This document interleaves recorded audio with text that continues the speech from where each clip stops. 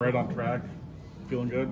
I feel good. You know, it's a little weird, like second inning because you, you need with the timer.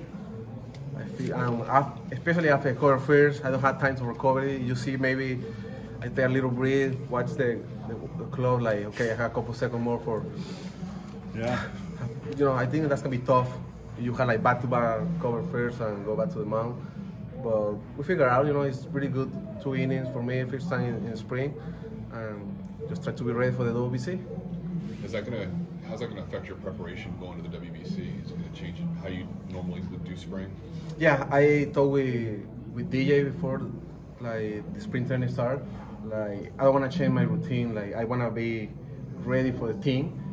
And just I, I made the adjustment for the WBC, but I don't change my routine in, in nothing. You know, we stand the same page every single time just for be ready for the season. And you know, I had the same way for go to stay ready for the WBC.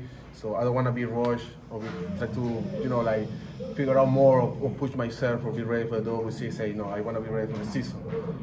You know, I for sure I I, I want to be ready for the WBC, but I prefer to be ready for Right. for the season. And you know, the WBC is a really good experience, but I need to figure out for my job right, right here.